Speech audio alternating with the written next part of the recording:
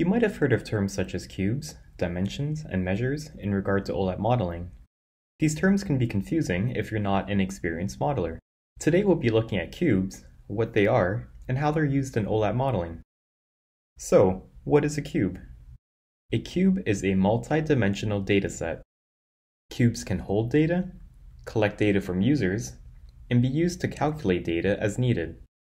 A cube's data structure can be imagined as a multi-dimensional spreadsheet.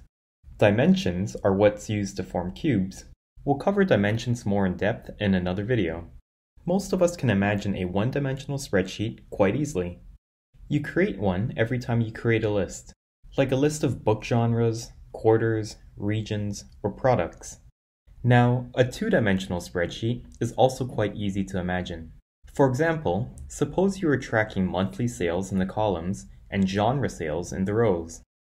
That's two dimensions, one for time and one for genre. And in this example, sales is something called a measure. Analyzing three or more dimensions, however, can be tricky to imagine. So let's say you're the owner of a bookstore.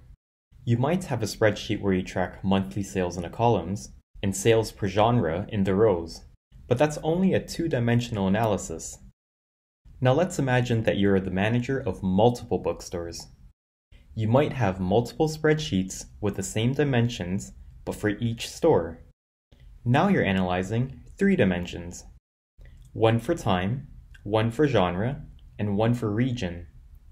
Using this visual, it's easy to see how this dataset can be called a cube.